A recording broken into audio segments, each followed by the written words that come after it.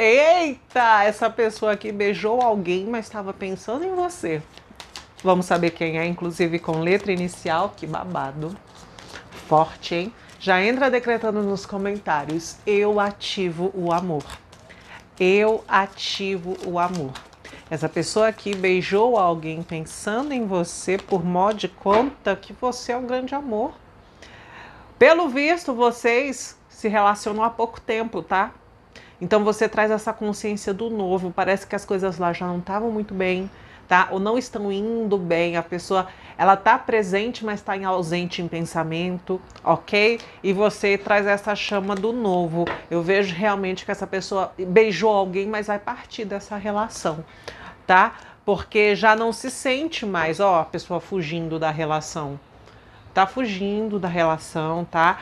Eu vejo aqui um ciclo que se finaliza na vida dessa pessoa e você traz esse lampejo e você traz sim esse corte, tá? Essa motivação do corte de alguma forma.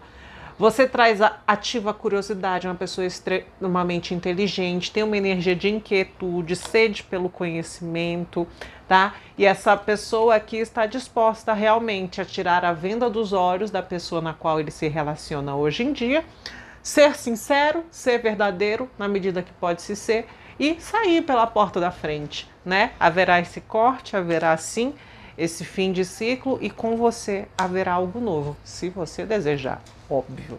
Letra, vamos ver agora. Já decretou, né? Eu ativo o amor. Eu ativo o amor. Vamos lá?